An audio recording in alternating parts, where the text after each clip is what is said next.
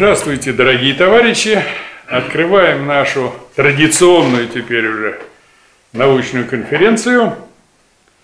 На этот раз она звучит «Причины и результаты борьбы позитивных и негативных тенденций в социалистических странах».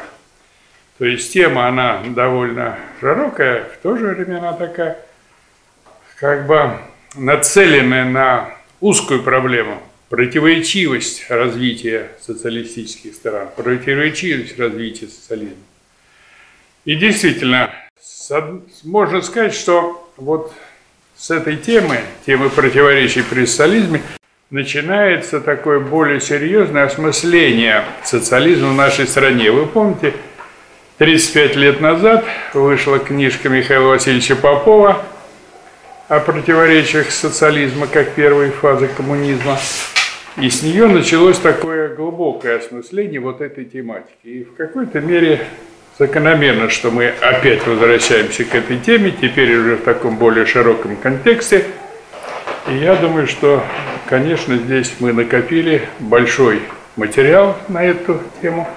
И сегодня им поделимся. Я даже думаю, что так или иначе эта тема будет еще развиваться и поделимся и в наших дальнейших работах.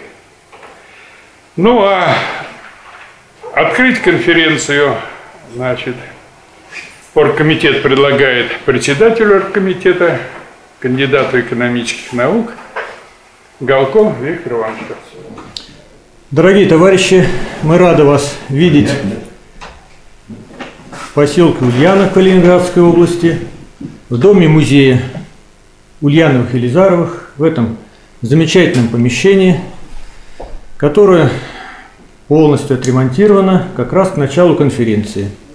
Знаменательно, что весь ремонт сделан силами наших товарищей, многие из которых присутствуют в этом зале на конференции, будут принимать участие. Итак, тема конференции названа. Организаторами конференции, конференции является Красный университет Фонда рабочей академии и интернет-телевидение Ленру.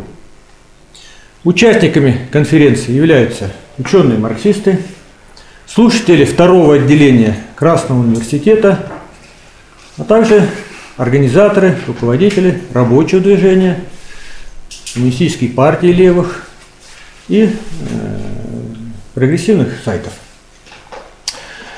Конференция у нас носит международный характер. Заявки на участие в конференции были получены от наших товарищей с Украины, с Коммунистической партии Бельгии и от корейских товарищей из платформы сопротивления империализму и Соединенных Штатов Америки. Ну, условия сказать, пандемии сыграли свою негативную роль. Не все сказать, смогли приехать и участвовать точно. Ну, возможно, было заочное участие в виде написания тезисов и докладов на конференцию. Ну, я повторяться не буду, уже Александр Сергеевич здесь сказал цели задачи конференции. Понятное дело, что законы общественного развития имеют объективный характер, немалимо приближает нас к победе социализма в всемирном масштабе, но автоматически это не произойдет. Это произойдет только через борьбу. Через борьбу, которую ведет рабочий класс и все трудящиеся. Но мы, как диалектики, понимаем, что борьба предполагает наличие двух как противоположных сторон, соответственно, позитивных, негативных тенденций. И результат этой борьбы, победа позитивной тенденции будет только тогда, когда она будет преодолевать и негативную тенденцию. Мы видим, эта борьба идет. Вот Конференция наша – один из элементов той борьбы, которую ведет рабочий класс трудящийся. Главное направление магистральное. Сейчас идет заводов борьба. Там, где идут коллективные действия, борьба за коллективные договоры, забастовочная борьба, которая неминуемо придет к созданию советов, как основ, как организационной формы советской власти. Борьба эта многоплановая, идет по разным направлениям, имеет различные формы, в том числе и на международной арене. Вот те наши товарищи, коллеги, которые э, прислали заявки на участие в конференции, скажем, из Южной Кореи. Сейчас непосредственно уже в августе ведут активную борьбу.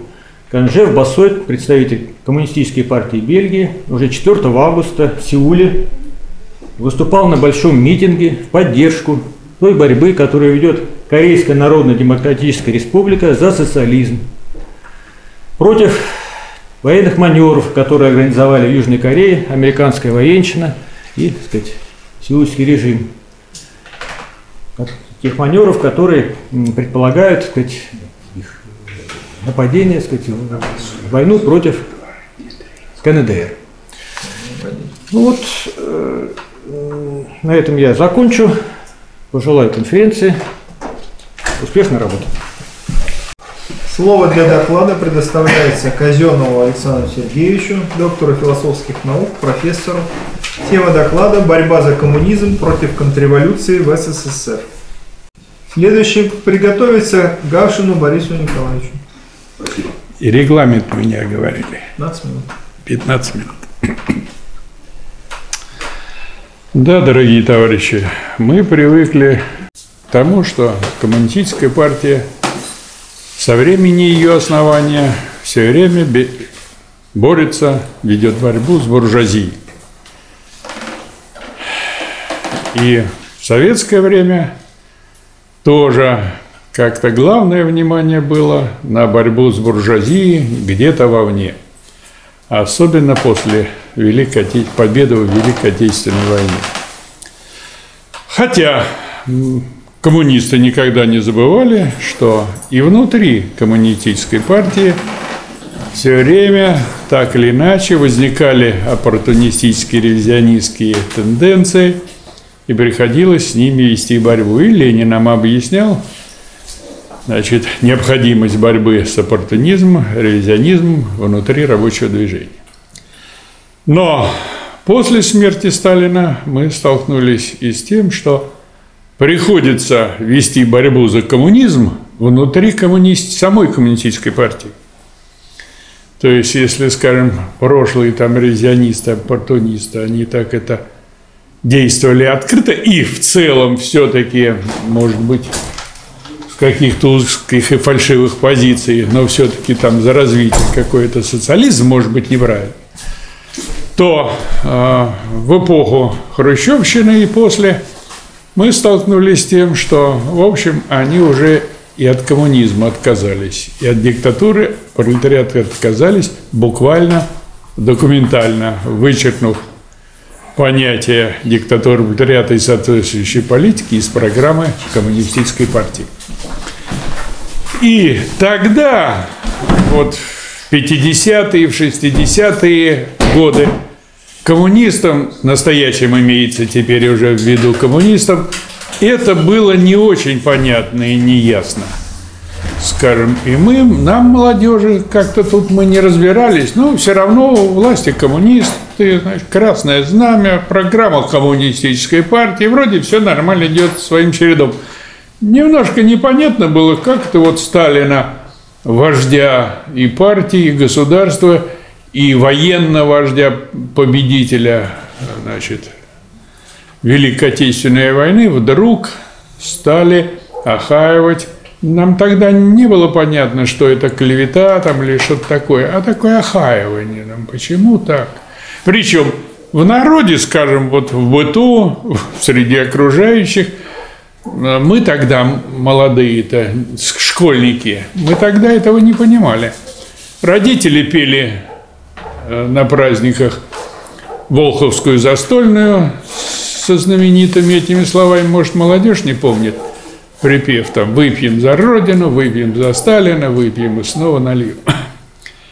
Да, причем это настолько, значит, как-то было загнано в подполье, в том числе и вот этот куплет из этой песни – песню пели, а эти слова как бы были под запретом. Поэтому, когда Кобзон тут 15 году или в 10 в больш... Э, нет, во дворце у Большой концертный зал «Октябрьский» спел целиком эту застольную, зал там встал и аплодировал минут пять, наверное, стоя. Так что вот тогда этого не понимали. В дальнейшем, когда уже мы повзрослели, скажем, при изучении курса истории КПСС, там, научного коммунизма, скажем, мне как студенту было непонятно, что классики говорят одно, а программа и учебники, значит, другое, выступают против диктатуры джата. Но тогда мы молодые, вроде казалось, ну это что-то мы тут не понимаем. Все-таки есть академики, есть профессора, есть заслуженные деятели партии. Значит, ну вот это тут я что-то не понимаю. Ну, потом, мол, разберемся. Но чем дальше это шло, чем больше это усугублялось, значит, тем сознание, с одной стороны, прояснялось, с другой стороны, значит, в 80, середине 80-х годов нас уже столкнули с этой практикой фактически открытой борьбы в партии, внутри самой партии против партии, значит, наряду с тем, что э, борьба против коммунизма в СССР и в России, и в республиках была очень острой и жесткой. И нас стали приучать к мысли, что, значит, э, учение там неправильное, Сталин там, значит, вот вообще преступник, Ленин там ошибался, та-та-та-та-та-та. А уж когда развалился, я, когда развалили СССР, и мы оказались без СССР, значит, начали прессовать народ мыслью о том, что ну, не было сопротивления никому на этот СССР, нужен был, и он развалился.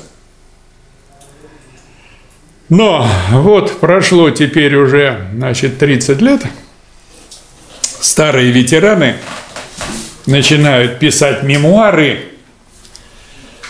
э, и вот буквально я сейчас, ну вот летом столкнулся с двумя такими, как говорится, близкими людьми. Вот сейчас мы вспомнили э, с Виктором Аркадьевичем, был такой в Объединенном фронте трудящихся – Крусаков Владимир Иванович, кандидат философских наук, капитан первого ранга в военно-медицинской академии работал. Вот он летом значит, опубликовал свои мемуары. Попросил меня, Александр Сергеевич, напишите такое, ну, предисловица. Ну, я написал. Вот сейчас он, значит, звонит, что вышли эти мемуары.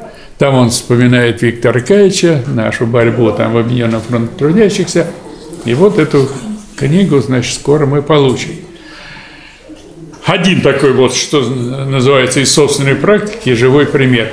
Как люди вспоминают вот эту борьбу за коммунизм, значит, в условиях СССР. Тогда еще в условиях СССР. И другой, может быть, кто-то вы видел в Ютубе в последнее время, начал выступать Валерий Иванов из Литвы. Вот этот Валерий Иванов, он когда-то был одним из организаторов, единство было такое движение, Ени, Енидба, единство в Литве. Это наш Объединенный фронт трудящихся, значит, в республике, в конкретной звучал, назывался. И вот меня Объединенный фронт трудящихся посылал туда, в Литву, я ездил, выписали мне командировку, дали денег на проезд. Вот я ездил, встречался там с этим Валерием, с другими товарищами, кстати, и с лидерами э, официальной компартии – Буракевичусом, Ермолаевичусом, объяснял им, что там как раз можно создать совет в той форме и в том смысле, который он был при Ленине. Почему? Потому что у них там были хорошие условия, значит, связи с производством, и военное командование, значит, заявляло несколько раз, что пора возвращаться к советам настоящим, к советской власти. Вот. И я товарищам объяснял, э, руководителям Компартии, они, ну что вы, Горбачев, у нас же все-таки централизованная партия, мы не можем. Ну а раз вы не можете, значит, одному дали, посадили, арестовали, посадили в тюрьму. Одному дали 6 лет, а другому 11. Вот Баракович сидел и вскоре умер, первый секретарь. А Йозас Йозефович Ермолавичус, он еще до сих пор жив, работает в Москве и выпускает книги такого социалистического свойства. Кстати, он закончил Ленинградскую высшую партийную школу в 59-м еще году. Так что вот начинают писать вот эти ветераны, которые в те времена еще боролись и вступили в довольно острую борьбу. И картина борьбы, которая велась в Советском Союзе, во-первых, значит, с буржуазией, во-вторых, внутри КПСС, значит, с антикоммунизмом. Или внутри КПСС за коммунизм. Или борьбу. Довольно значительные широкие силы. Просто о них мало кто знал. И э, их же не популяризировали, им-то не давали ни трибуны, ни газетные полосы. Поэтому она как бы так и оставалась в туне.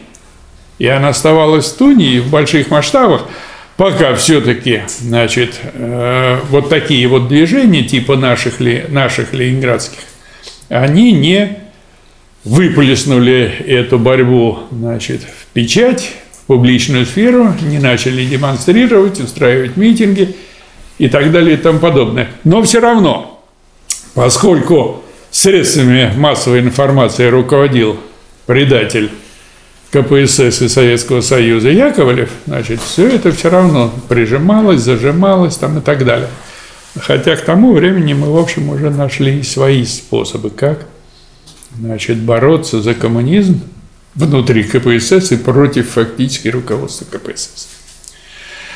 И ну, о наших-то делах тут мы более-менее написали, ну, начинают вспоминать и Михаил Васильевич, и Виктор Аркадьевич, и я. Тут, значит, меня прижали товарищи наши журналисты, тоже из меня вытащили такой вот материал. И я-то думаю, что он действительно для молодежи необходим. Почему? Потому что мы уже люди возрастные, нам тут осталось немного. А молодежь этого не знает, всей этой борьбы. А она была, во-первых, широкой, во-вторых, довольно острой – и в-третьих, и в главных, мне кажется, поучительный. Поучительный в каком смысле?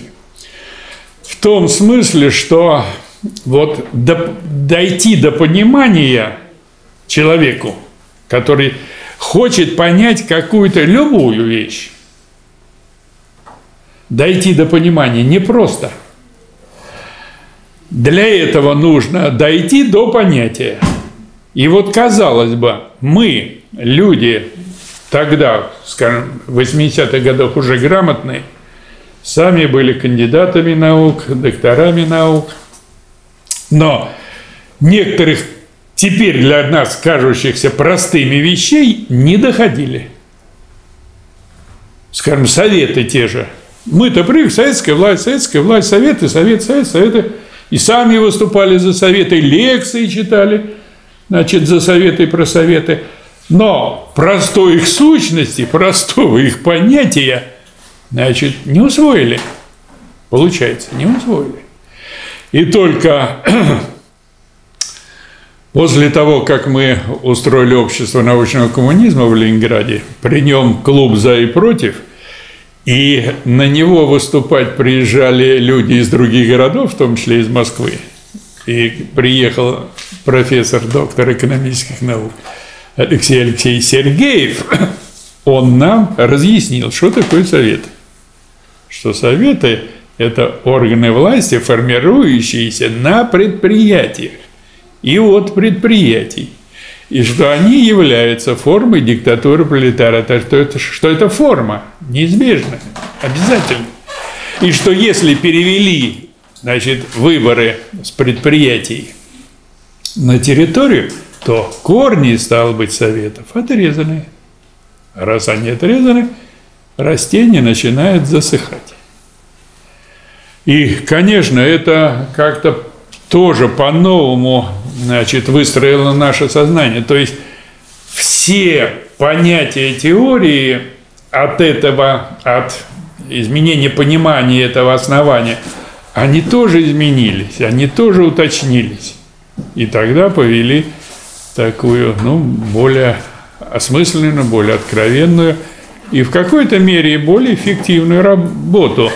Почему? Потому что вот и работа э, Михаила Васильевича о противоречиях социализма, и вот эти вот разъяснения, которые мы для себя получили вот в этом клубе «За и против», они, конечно, повлияли на нас в том смысле, что мы стали э, зрелее относиться э, к этой борьбе.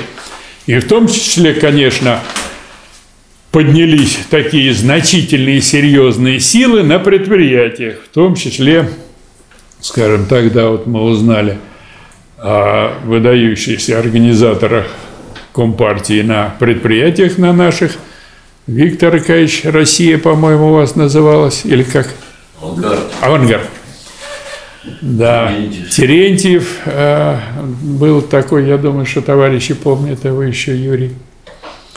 Вот. То есть начали подключаться к этой борьбе мощные производственные силы. И в конце концов, когда был выдвинут лозунг о создании движения, значит, инициативное движение коммунистов России, вот тут уже, значит, борьба за коммунизм против антикоммунизма внутри КПСС, она уже приобрела такие очень осмысленные формы. И когда выдвинули э, тезис и положение о необходимости создания Коммунистической партии Российской Федерации, оно получило большое признание, движение, и ну, буквально где-то за полгода оно выросло, родилось. Горбачев и Горбачевщина были вынуждены значит, согласиться с созданием этой партии, попытались его возглавить, и мне кажется, они тут, конечно, преуспели. Большинство в руководстве этой партии, конечно, оказалось Горбачевским. Поэтому вот эта попытка созвать съезд по отзыву Горбачева, она не увенчалась успехов. Почему? Потому что противоположная сторона, она торопилась нейтрализовать эту политику. И не случайно, кстати, мы же живем в дни, э, когда вспоминают ГКЧП, вот не случайно вот этот прохиндей и наемник ЦРУ Яковлев, он 16 августа написал заявление о выходе из КПСС и по почте отослал его в ЦК КПСС. Представляете? Накануне. Значит, это была пятница. Значит, тут пока шло это заявление, в понедельник 17, 19 в понедельник письмо было в ЦК. И он уже как бы был вне партии. Он уже не член партии. Он уже не связан ни с ГКЧПистами, ни с Горбачевым, там, ни с кем. Он свободный человек, он тут ни при чем. И это говорит о многом. Поэтому вот э, я думаю, что вот это исследование борьбы за коммунизм внутри КПСС и внутри СССР. Значит, я думаю, что оно очень важно, оно неизбежно. Без этого не обойтись. Чтобы двигаться вперед, надо понимать, что произошло, что случилось. Как это произошло, из чего это родилось. Поэтому я думаю, что это движение не случайно, что вот эти поднимаются люди, что они все напишут – и, значит, все выяснят, покажут это народное движение. И я думаю, что вот это народное движение молодое, которое сейчас поднимается, я думаю, что оно получит хорошую идейную подпитку. Спасибо. Слово предоставляется Гавшину Борису Николаевичу, кандидату экономических наук. Тема доклада «Переход от двуполярного мира к однополярному». Подготовиться Галшову Виктору Ивановичу. Ну, товарищи, очень Хорошо, что формат вот наших встреч и Красного университета, и вот здесь позволяет разобраться во всем происходящем.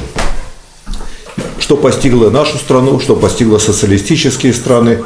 И вот э, я назвал свой доклад «Переход двухполярного мира к однополярному», поскольку если так рассматривать, то вот наша страна первая победила и э, была диктатура пролетариата. Казалось бы, к 30 году, к середине 30-х годов мы построили социализм. Была подлинная социалистическая экономика сталинская экономика, которая показывала гораздо большие успехи по темпам всех экономического роста, по всем другим показателям. И во время Великой Отечественной войны показала, показал социализм превосходство над капитализмом. Несмотря на то, что мы были слабее, мы сумели и нарастить и экономику, и промышленность, и в военно-промышленном комплексе, и победили. И э, вот где-то народ э, своими достижениями гордился и верил в партию. Но вот, как уже сказал Александр Сергеевич, вот, э, вот эта вера, э, может быть, уже э, не заострила то внимание, которое проходило на 22-м съезде в 1961 году, когда диктатура пролетариата была э, э, из, э, уничтожена – из э, программы. Э, а была же задумка э, очень хорошая, что во власть выдвигали трудовые коллективы, не по территориям, а трудовые коллективы. И не только с правом, но и фактического отзыва. Плохо ведет, не так ведет, забирают, другого направляют. И это рабочие коллективы, трудовой коллектив сделали по территориям, не заострили, и в результате, э, в результате э, пошел переходный период от социализма, более высокой общественно-экономической формации, к предыдущей, более архаичной, капитализму, который продолжался 30 лет и в 91-м закончился. Причем э, это шло по нарастанию, и вот как раз последние годы уже, во времена Горбачева, это очень интенсивно пошел переход, который закончился в окончательном варианте в 1991 году. И вот если э, э, посмотреть, какие же ценности уже были. А ценности уже э, были так, что капитализм показывал свое где-то по каким-то превосходствам, поскольку социалистическая экономика была уже перестроена на, частично на капиталистическую. И многие уже руководители уже смотрели, а как бы вообще извлечь прибыль из всего то, что происходит. И, например, когда уже Э, подходили и ельциновские времена, и э, был хаос в этой перестройке, поскольку никто не понимал, куда и с чего мы перестраиваемся, никто не понимал, что это какая перестройка, и социализм будет капитализм, или что это можно перестроить. Э, понимания не было, и вот эта вера слепая, она вела весь народ, и рабочие не боролись ни за свою диктатуру пролетариата, ни за власть э, уже в крупном масштабе. Хотя, конечно, эпизоды были, но если эпизоды были, они э, не носили такого массового характера, который бы, мог бы нанести перелом. И вот э, такой Михаил Полторанин, который был член кором газеты «Правда», главным рупором, Э, потом уже Ельцин назначил главным редактором «Комсомольской правды». Э, потом он стал и э, вице-премьером страны. Вот приезжает за две недели до июньского 90-го съезда РСФСР в Прагу. И в Праге уже все э, и социалистические страны э, уже смотрели, как бы вообще э, пришел бы нужный человек, чтобы в окончательном варианте и была и провозглашена и капиталистическая власть, и контрреволюция, и, соответственно, диктатура уже буржуазии.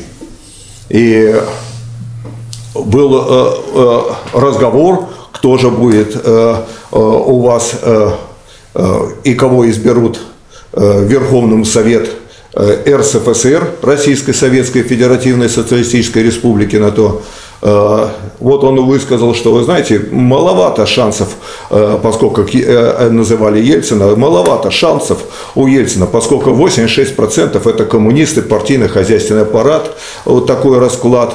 Демократическая Россия блок, но там разные люди тоже, поэтому если не пойдет на закулисные переговоры, не пообещает, если он придет к власти, какие-то должности – Э, э, кому-то, ну, э, шансов маловато. По возвращению в Москву это доложили результаты переговоров Ельцину. Ельцин посмотрел косо, говорит, да, не верите вы в меня. Ну и э, э, потом уже э, за два дня все болели как бы за Россию. Э, в гостиницу «Россия» приезжает э, Герик, Михник, Лех Валенса, кто создал солидарность э, в Польше. И вот гостиницы «Россия. Встреча». Ну и там уже э, раскладок, э, что под Ельцина идет большая работа. И уже тот же, те же вот эти Михники, Лех и Валенции говорят, вы знаете, большая политика идет за сценой. Все, а на сцену уже выходить надо с готовым решением. И все шла подготовка уже, э, чтобы э, э, Ельцин был у руля и возглавил Верховный Совет РСФСР. Почему устраивал? Потому что Ельцин. Потому что вот шло к тому, что если он будет, то ему надо номинальная власть его не очень э, интересует э, движение и накопление. А все, все окружение уже э, шло в этом направлении. Ну и вот особенно в Горбачевское время мы че, через биржи ну, и другие формы стали вывозить золото. Причем сколачивали ящики кое-какие, э, самолетами аэрофлотами, подсидения. И кому было поручено? Э, было поручено, это э, кто в посольствах работал, кто в МИДе работал в разных, а это тысячи людей, и в разные страны вывозили. Эти ящики, бывало, часто и пропадали, спрашивали, а где же золото? Где-нибудь в Цюрихе разбираются, э, скандал, но ну, потом списывали, что э, нет э, хороших отлаженных поставок золота за рубеж, и много золота не только попадало в бюджет СССР, а много и утекало. Существовала теневая экономика? Конечно, существовала теневая экономика. И э, и этим пользовались. Причем э, в народе уже даже, вот на таких мы знаем, на патриотических, как э, Исаев, Стирлиц, мы Зорги, мы вот воспитаны, даже вот коллеги из первого главка, это э, политическая разведка, внешняя разведка, было поручено тоже этим заниматься.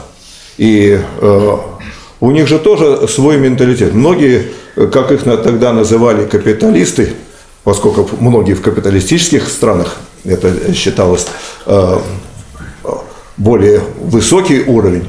И вот э, э, эти капиталисты, где дети их учились? Учились в Нью-Йорке, в Париже, в Лондоне, в других городах, уже в головах, и у детей, да и у них вот уже вот чувство патриотизма, того с рабочим классом связь уже э, не было. Э, было уже так, э, что эта ниша тоже неплохая, и в результате, поскольку этим занимались, тоже достаточно много обогатились. И такой Ульянов, который возглавлял золотой главк на Кузнецком мосту, он вообще в 90-е годы э, не с пустым э, рюкзаком сбежал э, в Америку и создал там большую коммерческую компанию и многие другие. То есть их уже тоже не устраивало вот с мощным БХССом борьба с хищением социалистической собственности, их не устраивало, что вот уже накопление есть, ни детям не отпишешь, ни виллу не построишь, вот эта уравниловка, и уже тоже даже на таком уровне не устраивал вот этот общественно-экономический строй с этой уравниловкой. Поэтому это тоже настроения были, но они влиятельные люди. И Ельцин, когда входил в власть, а до власти надо же какой-то, он же из, из Свердловска приехал, еще отношений не было, стал, стал заниматься теннисом большим. Большой теннис, его надо было тренировать.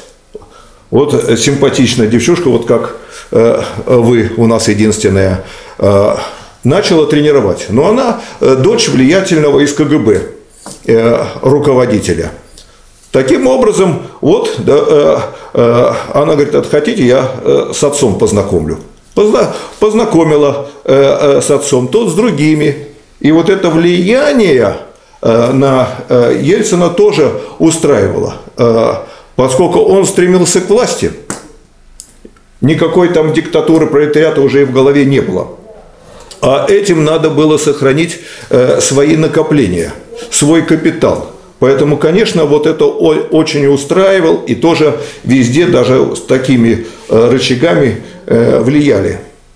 И в результате, конечно, э, когда уже Ельцин пришел к власти, мы стали пожимать, пожинать те плоды, которые вот мы получили.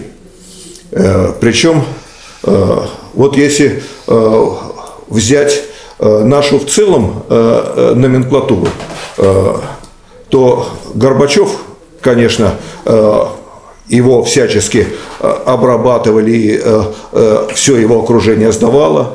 Мы знаем, что больше территории Франции отдали в районе Дальнего Востока и шельфы, и 200-километровые линии, больше Франции в районе Берингового пролива отдали за какие это интересы? Для того, чтобы потом э, получить э, и назначение, поскольку уже Запад влиял вовсю, и были везде э, и советники, и официальные, и неофициальные. Это, если капитализм, всеобщее товарное производство – а, э, то есть все товар, а под товар ну, и должности, и тоже товар, как на рассматривать, и без, эти должности уже тоже без денег э, не, не, куп, не, не купишь. И в результате вот это все э, э, шло.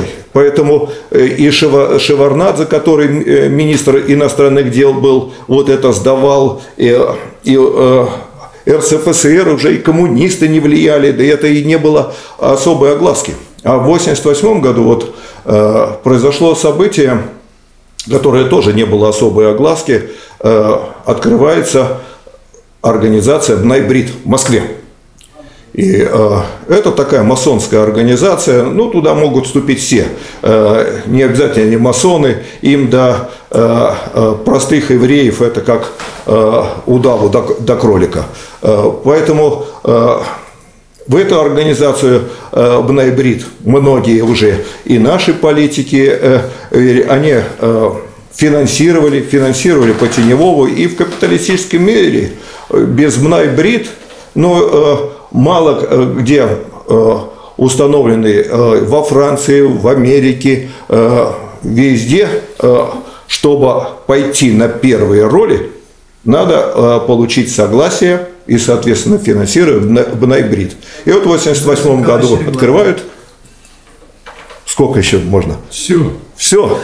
Дорогие друзья, поэтому изучайте э, противоречия социализма, которые тогда еще не было, и рабочий не мог изучать изучать э, сейчас и научные работы и Михаила Васильевича Попова, и, и диалектика капитализма и социализма Смирнова Попова, и народная правда э, борется уже более 30 лет. Да здравствует э, диктатура пролетариата, будущее, будущий более высокой общественно-экономической строй, пролетарии бывших наших социалистических братских стран, соединяйтесь. Спасибо. Слово для доклада предоставляется Галко Виктору Ивановичу, кандидату экономических наук. Ленинизм и ревизионизм. Актуальные вопросы. Подготовиться Тюркину Виктору Аркадьевичу. Уважаемые товарищи, начну я вроде как с известных положений.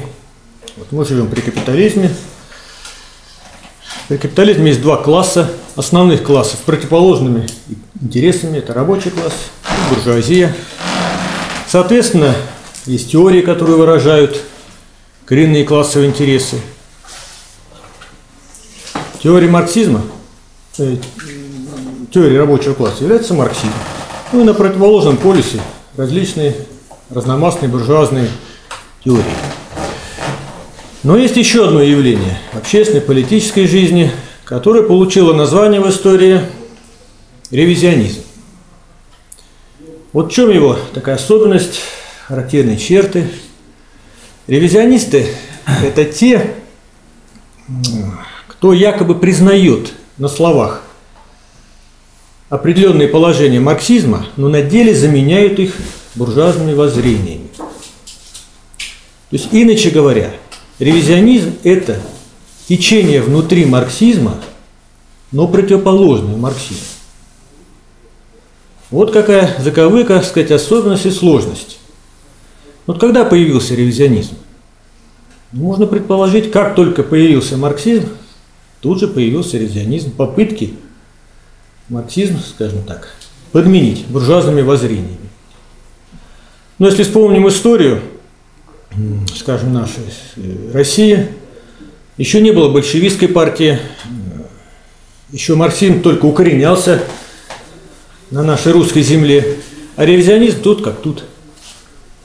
Вот Ленин народничество называл русской разновидностью ревизионизма. У него у ревизионизма много оттенков, направлений, нюансов, разновидностей. Но, повторяю, их объединяет одно. Это попытка внутри марксизма подменить коренные основополагающие положения марксизма буржуазными взглядами, буржуазными позициями. Ну, как полагается, мы должны сказать, э, увидеть и найти классовые корни. Откуда вот растет этот ревизионизм? Ну, во-первых, во-первых, помимо рабочего класса и класса буржуазии, есть мелкая буржуазия. Ведь положение, объективное положение в производстве мелкой буржуазии двойственное. С одной стороны они трудящиеся, а с другой стороны собственники. И вот в этом противоречии постоянно находится мелкая буржуазия, она сегодня одной, сказать, ногой, сказать, поворачивается лицом к рабочему классу, а завтра тут же от него отвернулась и встала на позиции буржуазии. Это первый классовая основа. Второе. При капитализме есть интеллигенция, как особый, а как особый слой буржуазного общества. И Ленин давал такую яркую характеристику положению интеллигенции, что в общем и целом она характеризуется, повторяю, в условиях капитализма. Это индивидуализмом и неспособностью к дисциплине и организации. И в этом ее отличие от пролетариата. И в этом во многом объясняется интеллигентская дряблость, ее постоянная неустойчивость. И вот свойством интеллигенции – является то, что она по условиям своей жизни, по условиям работы, по условиям своего существования, она во многом близка к мелкой буржуазии. И вот в этом во многом объясняется то, что у интеллигенции, у значительной части, повторяю, за редким исключением, ее постоянная тяга вот к мелкой буржуазности и буржуазным взглядам. И третье – но возьмем рабочий класс. Ведь он не отделяется как бы каменной стеной от буржуазии. В каком обществе он находится? В буржуазном. А как мы знаем, общественное бытие порождает или определяет общественное сознание. Если у нас бытие общественное капиталистическое, то общественное сознание тоже в массе своей буржуазное. И вот это буржуазное сказать, сознание постоянно проникает в рабочий класс, постоянно порождает соответствующие взгляды, ну и соответствующие концепции, позиции. И особенно эта проблема обостряется в эпоху империализма. То есть ту эпоху, когда у нас, во-первых, не просто капиталисты существуют, а крупные, крупнейшие, они получают не просто прибыли, а сверхприбыли, и начинают части этих сверхприбылей делиться, делиться с так называемой рабочей аристократией, с частью верхушки рабочей, и у которой становится на буржуазные позиции и сказать, начинает выполнять внутри рабочего движения, внутри коммунистического движения функции какие? Защита буржуазного строя, сказать, быть проводником буржуазного влияния на рабочий класс. Таким образом, ревизионизм под разными соусами, под разными видами, э, под видом развития, улучшения там, марксизма протаскивает буржуазные взгляды. И Ленин на протяжении всей своей жизни боролся с проявлениями ревизионизма. Вопросов, вот все основные коренные вопросы, основные положения марксизма, они подвергались нападкам сказать, со стороны ревизионистов. Ну, время у нас ограничено, понятное дело, выступление, поэтому остановимся на одной ключевом вопросе. Главном вопросе классовой борьбы пролетариата – это положение о диктатуре пролетариата. Но вот наиболее яркая сказать, дискуссия – это была дискуссия с Каутским. И один из лидеров второго интернационала, который написал целую работу, называется под названием «Диктатура пролетариата». Ну, на что Ленин ответил работой «Диктатура пролетариата. Ренегат Каутский». Ренегат, ну, то есть предатель, отступник, бывший вроде как марксистом, но потом предал его, стал на буржуазные позиции. В чем здесь хитрость вот этих ревизионистов? То есть вроде они на словах признают и классовую борьбу, и диктатуру пролетариата, но на деле обставляют такими условиями, при которых диктатуры пролетариата никогда не будет. Вот в чем их хитрость, особенность и сложность, скажем, разоблачения. Потому что одно дело, сказать, буржуазия, вот она где-то там, за пределами дома музея Ульяновых, вот их апологеты, как говорится, явно открыто столкновение. А здесь вроде внутри марксизма, вроде как свои, но на деле являются проводники буржуазной политики. Идем дальше. Вот. А как быть при социализме?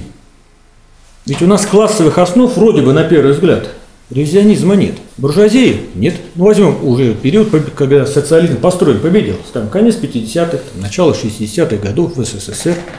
Буржуазии нет. Мелкой буржуазии тоже нет. У нас колхозное крестьянство. Интеллигенция у нас вся сплошняком социалистическая. Так ведь? Рабочий класс, как тогда писали, у нас единый, монолитный, сплоченный. Ну вот он единая стена, да, монолитная. Все должно, сказать, нехорошее сказать, явление буржуазное, разбиваться, откатываться от этой стены. Однако нет, не так все просто. Вот этих классовых корней нет. Но что есть при социализме? Есть такое явление, которое называется мелкобуржуазностью. Это такая линия поведения всех членов социалистического общества, которая заключается ну, противоположности линии на приоритет общественных интересов. И она объективно обусловлена тем, что социализм – это коммунизм в первой фазе. То есть не такой вот чистенький, хороший строй, а это тот строй, который еще вышел из недр предыдущего капиталистического строя и во всех своих отношениях, и в экономическом, и нравственном, и устном, несет остатки, отпечатки этого строя, из которого он вышел. То есть внутри социализма, который является коммунизмом в своей основе, есть отрицание этого коммунизма в нем самом. И оно порождает негативные тенденции везде. В экономике, пожалуйста, товарность. В бесклассном обществе есть остатки, еще не уничтоженные классовые различия. Стихийность, планомерно организованном хозяйстве и так далее и тому подобное. Соответственно, вот это, будем считать, ну, по сути, классовая основа является питательной средой для ревизионизма. И что мы видим? Ну, если мы говорим о противоречиях, там две стороны. Соответственно, идет борьба этих сторон. Есть позитивная тенденция и негативная. И позитивная тенденция, она автоматически ведь не приведет к победе, э, к переходу в полный коммунизм. Социализм будет перерастать в полный коммунизм только тогда, когда эта позитивная тенденция будет перебарывать негативную. А если с ней не бороться, что негативная тенденция, она же объективная, имеет объективные классовые корни, экономические корни, она будет постоянно раз, раз, разрастать. Это приблизительно, так сказать, образно, можно сказать, в здоровом организме вот раковая опухоль. Функция какая у этой раковой опухоли? Уничтожить, уничтожить здоровые клетки, это уничтожить организм. Поэтому, что произошло? Да, если мы будем рассматривать противоречие между бесклассовой природой социализма и еще остатками неуничтоженных классовых различий, то оно разрешается по линии позитивной тенденции путем борьбы рабочего класса за приоритет общественных интересов под руководством коммунистической партии. То есть коммунистическая партия – это стержень, основное звено, вот, на котором стоит и которое, так сказать, должно вот, вести, по сути, вперед. И что произошло? В начале 60-х годов на известном съезде, где была принята третья программа партии. А то, что ревизионисты, взявшие верх внутри КПСС, они подвергли ревизии основной документ коммунистической партии, программу партии. То есть все положения, основные положения, которые характеризуют ее как коммунистическую, были подвергнуты ревизии. Прежде всего, положение диктатуры пролетариата. А уже, как, как говорится, в детали, под каким соусом, под какой формой. Ну, Хрущев заявил там с трибуны съезда, и в тексте программы есть, что диктатура пролетариата – это все хорошо, это все правильно, но она выполнила свою роль. Спасибо. До свидания. Теперь будет общенародное государство. А мы знаем, может быть, либо диктатура пролетариата, либо диктатура буржуазии. Что и получили.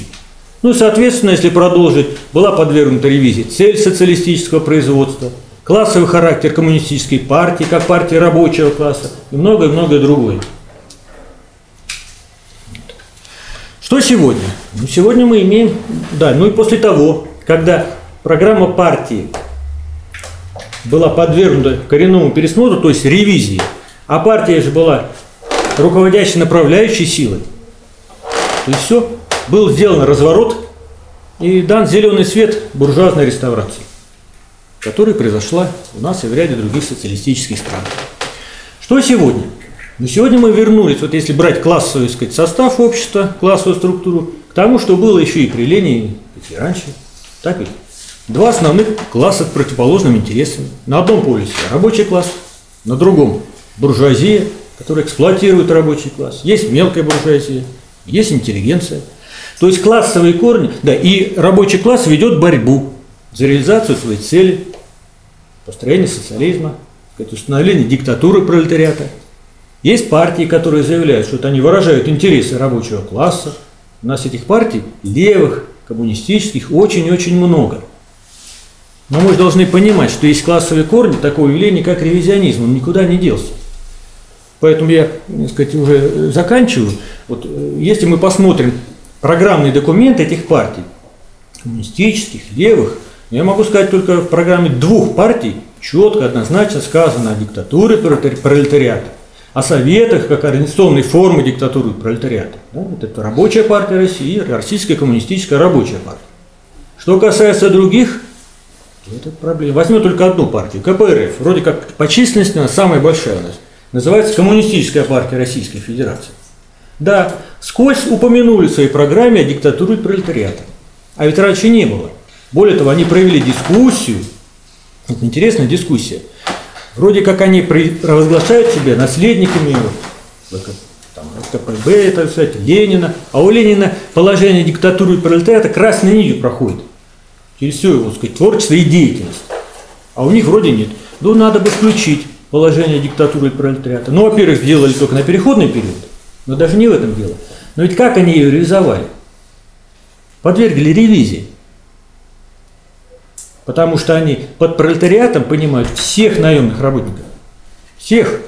То есть сюда всех погнали. И рабочих, и интеллигенцию, и ученых, и сферу услуг, и многих-многих других. То есть это что получается? Это получается та же ревизия, которая, скажем, была совершена Хрущевым, хрущевцами в те годы, но под новым соусом. Если Хрущев говорил, нет, спасибо, диктатура пролетариата выполнила свою функцию, будет общенародное государство. Эти несколько по-другому говорят. Нет, да, положение диктатуры и пролетариата мы вот указываем. Но обставляют такими условиями, что это никакая диктатура пролетариата и никогда не будет. Заканчивая. Вот на пути к реализации своей цели рабочему классу, трудящимся, надо многое сделать. Много условий надо создать и реализовать.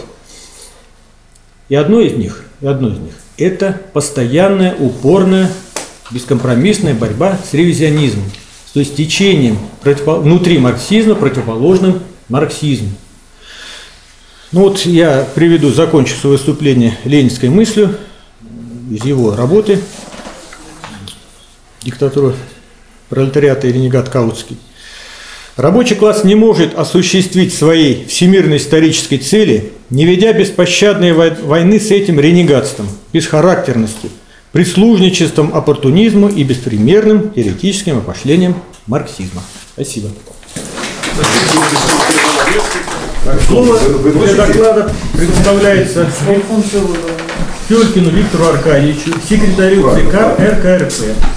Приготовиться Дегтяреву Денису Борисовичу уже отмечали, я думаю, что это действительно символично, да, что вот в эти дни исполняется 30 лет со дня событий под названием ГКЧП.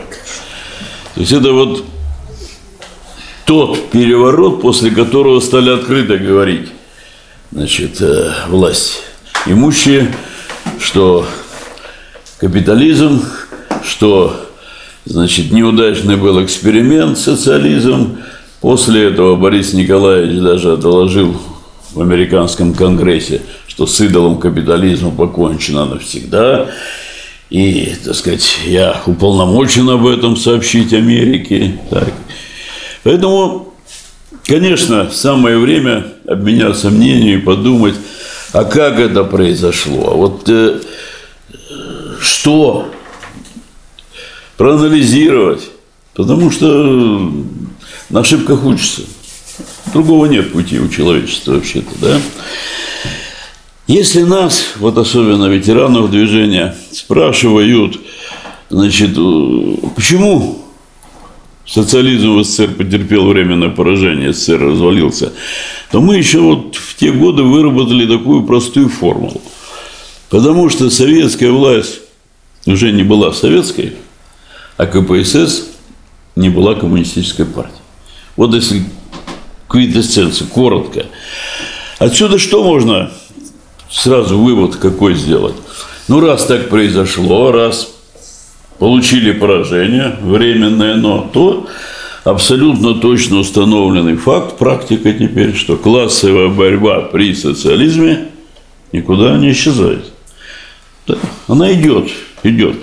И мы знаем высказывание Владимира Ильича, помните, что сравнительно легко победить крупную буржуазию, там, прогнать помещиков и прочее, прочее, и гораздо труднее победить вот эту самую стихию мелкобуржуазности, стихию привычек себе, мое там, много сложнее, и жизнь нам показала. Поэтому классовая борьба при социализме – это борьба особого рода. Вот, вот это очень важно. И Виктор Иванович, так сказать, старался нам на это обратить внимание, действительно, потому что это не просто борьба с классовым противником, не просто борьба с носителем буржуазных идеологий там и прочее. Так? Это форма борьбы, вот эти тенденции. И эта форма, она протекает внутри общества и внутри самого класса, рабочего класса, так? и внутри партии, которая может считать себя и рабочей, и коммунистической, и внутри каждого человека, в голове, в голове, в сознании. Вот мы с вами тоже имеем вот эти две тенденции в разной степени, там, накачанные у каждого там. Поэтому, значит,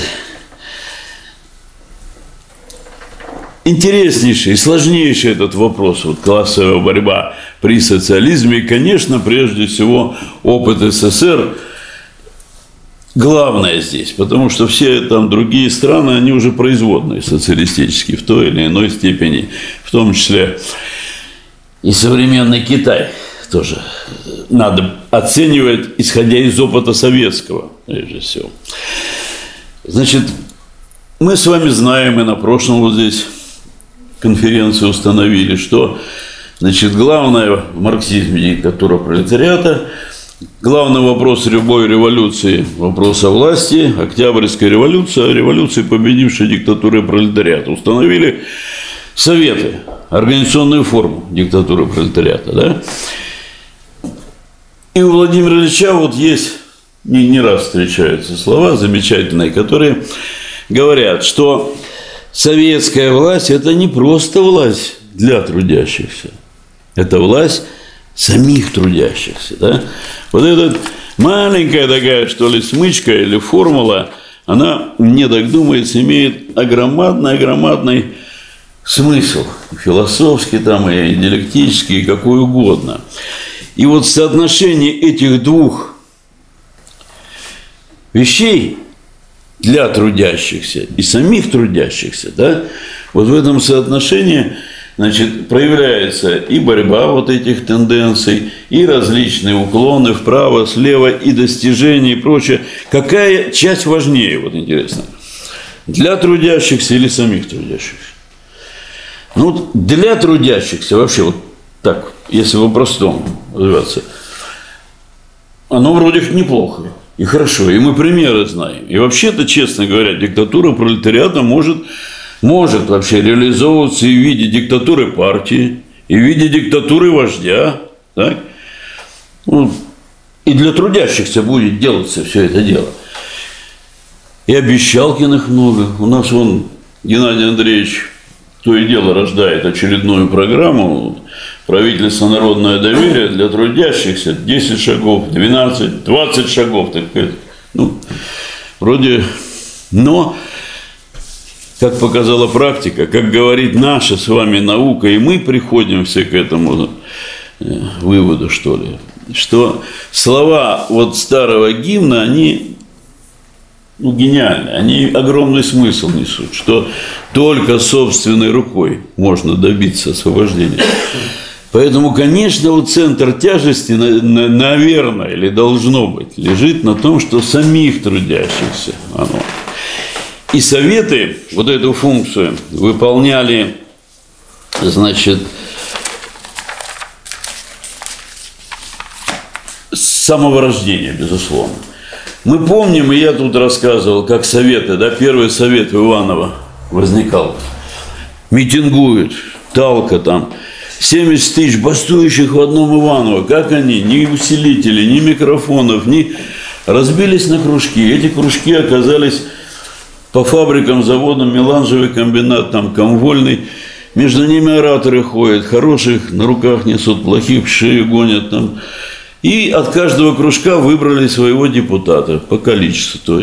И оказался первый совет рабочих депутатов. Вроде спонтанно а он отражал производственную структуру. Производственную. И опирался на организованность людей в процессе труда. Вот этот материальный фактор, опора диктатуры пролетариата на организованность людей в процессе труда, вот это важнейшее понятие, которое нам надо понимать, пропагандировать, дальше нести. Потому что отсюда все растет. И фабриканты, и заводчики сразу были готовы к переговорам, сразу, они не глупые ребята. Там же Бурылин писал, забастовка дошла до того, что я сегодня сам чай себе заваривал. Не было. И сразу выдвинули тезис. Все со всеми готовы говорить. Не все со всеми. Каждый заводчик со своим депутатом. А рабочие держались формулы все, все, вся со всеми.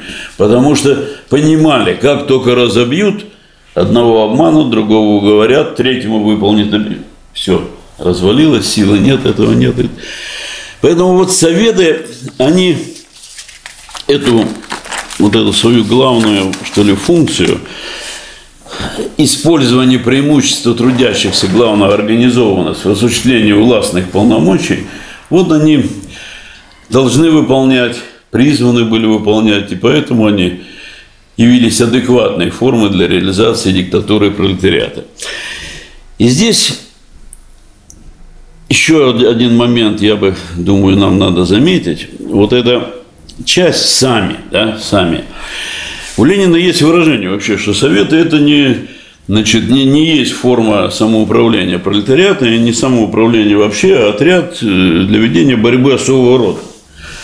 Но я думаю, это совсем не значит, что советы не выполняют функции самоуправления.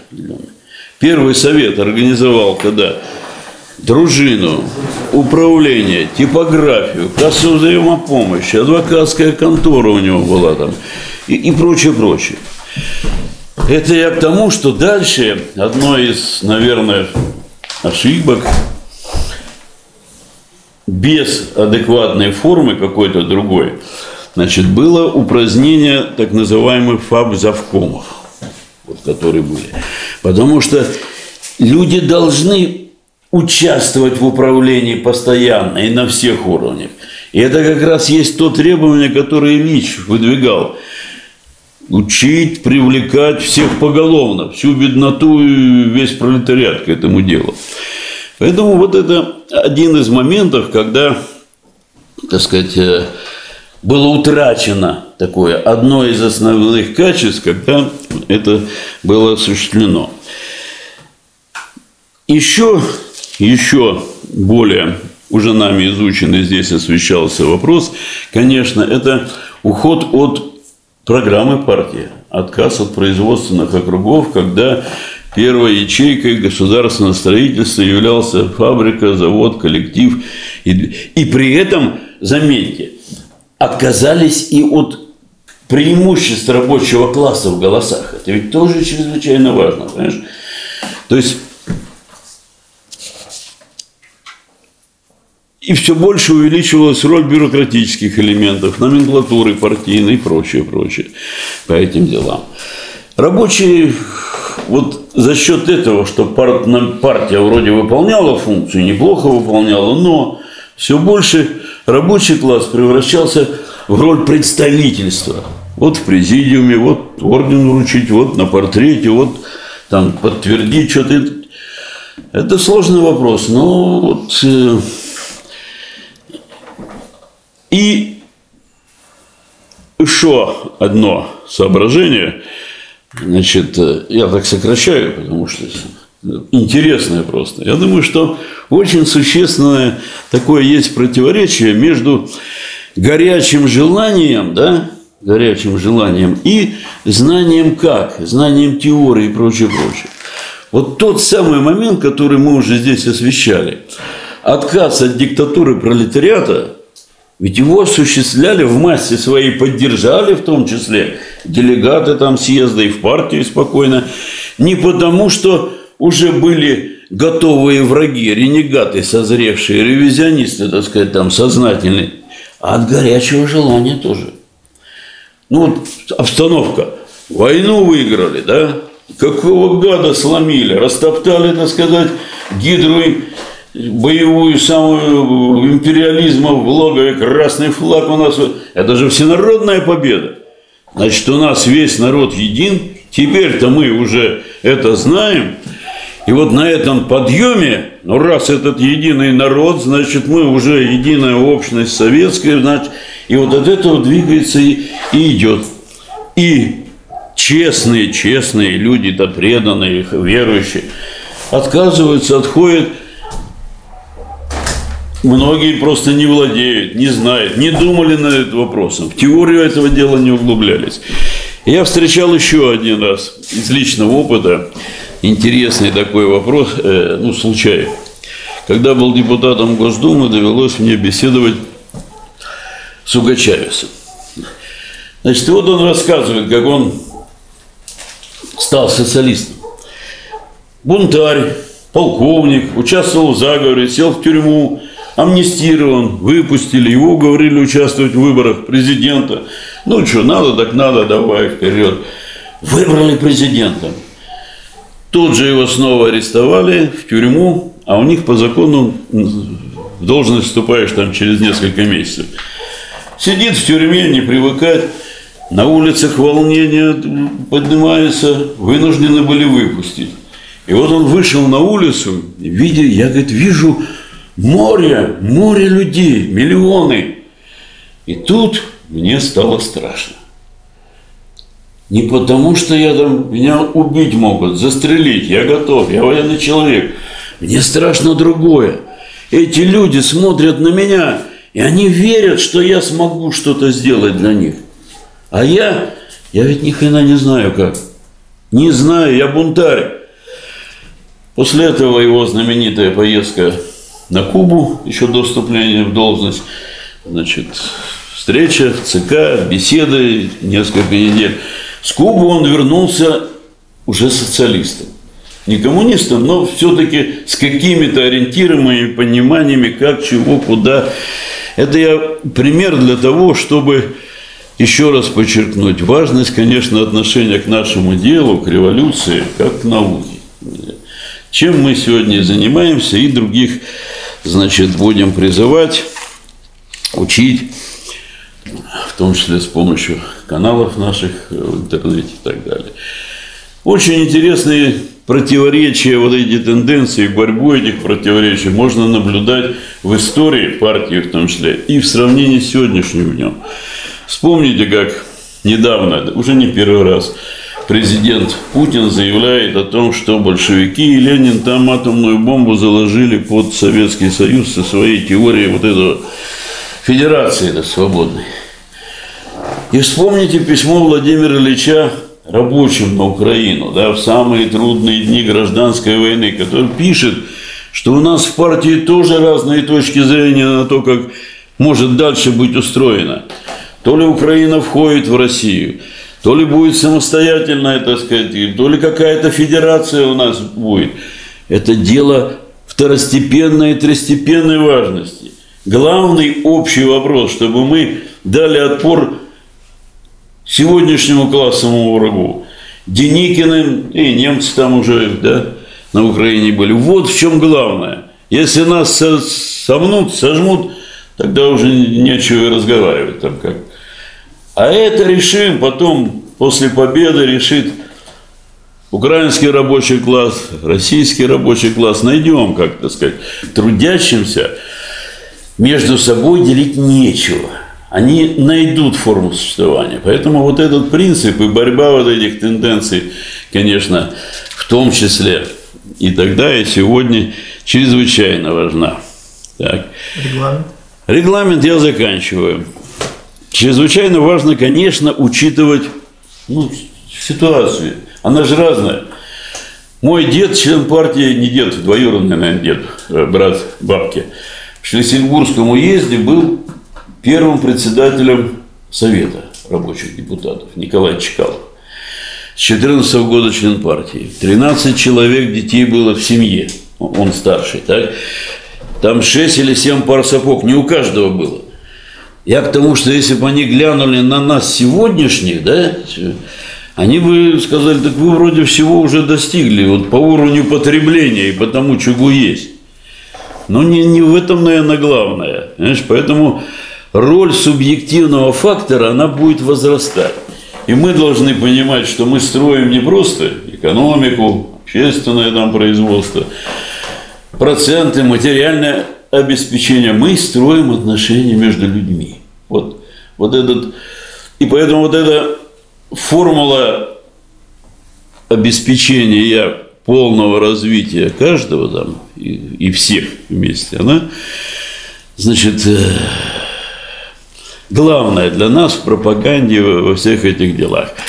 Ну и поскольку такой день, 30 лет всех этих дел, то напомню, на одном из памятников Ленину вы Германии, не, не Ленину, как Марксу Энгельсу в Германии, немецкие рабочие написали, ничего, в следующий раз получится лучше. Вот и мы должны быть оптимистами. Слово предоставляется Дегтяреву Денису Борисовичу, кандидату медицинских наук. Тема выступления Конституция СССР 1977 года как торжество ревизионизма. Подготовиться товарищу Удовиченко. Работаем без перерывов, да? Конечно. Уважаемые товарищи, Третья Конституция СССР была принята Верховным Советом СССР 7 октября 1977 года. Однако идея из- внесения изменений в основной закон, а затем и разработки новой Конституции появилась уже в середине 50-х годов. Разработка Конституции была начата в 1962 году, когда рабочая группа под руководством Ильичева подготовила предложение разработки новой Конституции СССР, ее структуре и содержании.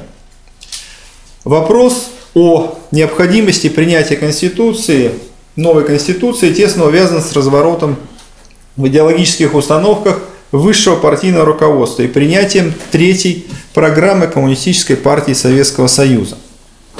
На 11 съе... на 21 съезде, прошу прощения, КПСС в 1959 году Хрущев говорил о внесении изменений в действующий основной закон.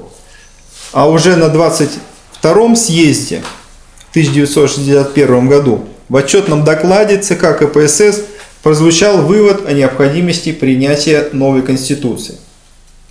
Теоретическую основу составили следующее положение, определявшие, на взгляд партийного руководства, стадию социализма и перспективы развития нашей страны. Какие эти а, тезисы? Это тезис о полной и окончательной победе социализма, о вступлении страны в период развернутого непосредственного строительства коммунизма, исчерпании функций диктатуры пролетариата, общенародном характере советского государства, перерастании советской государственности в общественное самоуправление по мере продвижения к коммунизму. Эти положения нашли свое отражение в проекте Конституции 1964 года. Там было два проекта, называемый летний осенний, э, которые не были приняты по понятным причинам. 19 Осенью 1964 года Хрущев был смещен со своего поста.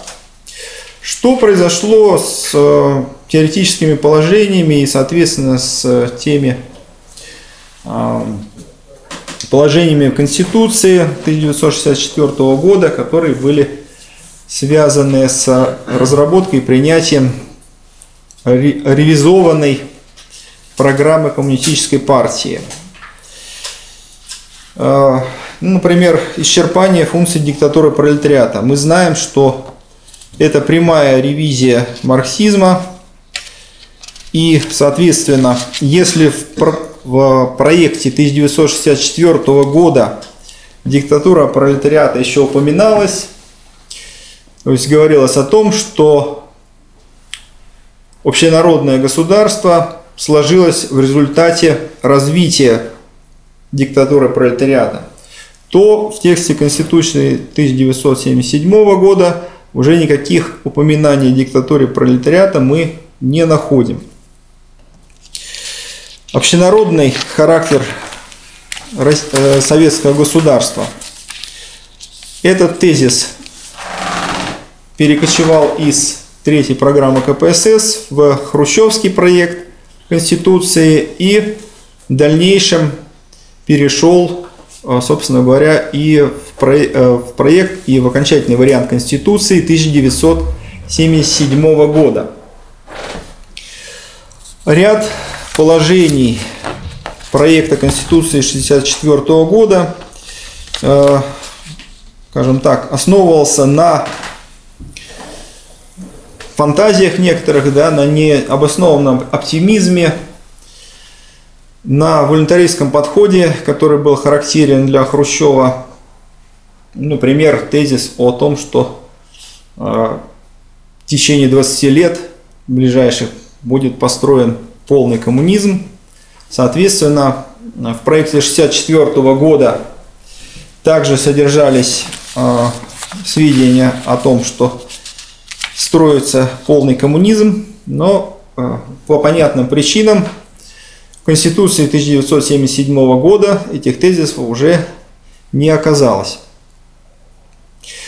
Было ли рациональное зерно в проекте Конституции 1964 года? Да, было. Знакомство с этим проектом говорит о том, что была сделана попытка вернуть Советом народных депутатов а, функцию исполнительной власти. То есть а, снова объединить в, одно, в, в, э, в одних органах и законодательную и исполнительную власть, что было сделано, э, вернее, разделение которых произошло при принятии Конституции 1936 года. Но мы видим из окончательного текста Конституции 1977 года, что этот тезис был вычеркнут. А, также не попало в окончательный вариант Конституции положение о так называемых народных собраниях, которые должны были наряду с органами советской власти также выполнять функции прямого народовластия. Кстати сказать, термин народовластие, который сейчас широко использует КПРФ, э, как раз э, имеет своим происхождением теоретические разработки и проект Конституции Хрущева 1964 года издания. Э, вот эти так сказать, пункты, которые расширяли участие трудящихся в государственном управлении, они в Конституцию 1977 года не попали. Надо сказать, что в Конституции 1977 года вместо положения о переходе к непосредственному строительству коммунизма было выдвинуто положение о построении в СССР так называемого зрелого социализма – которая противоречит понятию социализма как первой фазы коммунизма, то есть неполного, незрелого коммунизма. Это более отвечало политическим и экономическим условиям в тот момент э, в Советском Союзе по сравнению с перспективой построения коммунизма в ближайшее время, но, э, по сути дела, также являлось ревизией марксизма. Общенародный характер государства, который сегодня рассматривался и многократно мы уже обсуждали, э, не являлся каким-то случайным э, моментом. На самом деле над обоснованием вот этого общенародного характера государства как результата развития диктатуры пролетариата трудилось достаточно много теоретиков в области права, и, соответственно, э, на самом деле проводилась достаточно массивная информационная кампания по тому, чтобы внедрить вот эту идею в умы трудящихся. Это не прозвучало как что-то неожиданное, так сказать, в третьей программе партии и, соответственно, в проекте Конституции. И на тот момент действительно это казалось логичным, поскольку государство при наступлении полного коммунизма должно отмирать, соответственно, все функции государства, которые касаются управления обществом, они должны переходить непосредственно к обществу. В то же время э, последующее развитие событий показало, что вот в этом тезисе вернее, те, кто выдвигал тезис о общенародном государстве, они, э, в общем-то, лукавили, они прекрасно понимали, что никакого общенародного государства нет и быть не может. И мы знаем, что Владимир Ильич Ленин в э, своей работе «Государство и революция» привел цитаты и из Маркса, из Энгельса, и сам так сказать, эту тему развил о том, что государство – это понятие классовое, и народное государство или общенародное, как его называют со времен Хрущева, есть не что иное, как прикрытие диктатуры буржуазии. Э, Соответственно, вместе с тезисом об отказе от диктатуры пролетариата общенародное государство как раз и знаменует, а, если не окончательное наступление диктатуры буржуазии, то, по крайней мере, является а, серьезной заявкой на восстановление такого господства. Общенародный характер государства сохранился и в окончательном варианте Конституции 1977 статье 1. В статье 15 была указана цель общественного производства при социализме в точном соответствии с ревизованной партийной программой. Наиболее полное удовлетворение растущих материальных и духовных потребностей людей. То есть тезис о свободном всестороннем развитии, он также был Э, из цели общественного производства выкинут. Хотя э, надо сказать, что э, по тексту Конституции положение о необходимости развития людей, оно, а, он, оно все-таки появляется. Конституция 1907 года продолжила тенденцию к укреплению парламентаризма – Сохранилась система прямых выборов по избирательным округам. Голосование было закрытым, тайным, и выборы, соответственно, были прямыми. Произ... Возврата производственному принципу формирования советов не произошло, и попытки такой не предпринималось ни в проекте Конституции 1964 года, ни в окончательном варианте. Также в окончательный вариант не вошло, э, значит, вошло, вернее, разделение властей на законодательную и исполнительную, попытка устранить которой была сделана в проекте Конституции 1964 года. Взамен действительного участия граждан в деле государственного управления, которое только и может осуществляться при выборах по производственным округам, в Конституцию 1977 года были включены широко декларируемые и э, так называемые права человека. Называем права человека. Вместе с тем, надо сказать, что право на отдых, которое гарантировала советским людям статья 118 Конституции СССР 1936 года, это сокращение рабочего дня для большинства рабочих до 7 часов, Конституции 1977 года было подменено ограничением продолжительности рабочей недели до 41 часа, что создало предпосылки для удлинения рабочего дня вначале до 8 часов при переходе на пятидневную рабочую неделю, а после реставрации капитализма, как мы сейчас видим, до 10-12 часов и более – Место Института пролетарской демократии, который представляет из себя советы, избираемые по производственным округам, была введена статья 5, провозгласившая, что наиболее важные вопросы государственной жизни выносятся на всенародное обсуждение, а также ставятся на всенародное голосование, референдум. Мы знаем, что эта статья Конституции была потом использована как таран для разрушения СССР и для принятия Ельцинской Конституции за проект которой на самом деле никто не голосовал, при которой мы живем до сих пор. Статья 6 закрепляла роль Коммунистической партии Советского Союза как руководящей направляющей силы советского общества, ядро его политической системы. Беда заключалась в том, что уже к этому времени КПСС перестала быть партией рабочего класса, потеряла опору в рабочем классе, ее руководство вело страну к реставрации капитализма. Работа над проектом Третьей Конституции СССР с перерывами, с остановками, с возобновлением.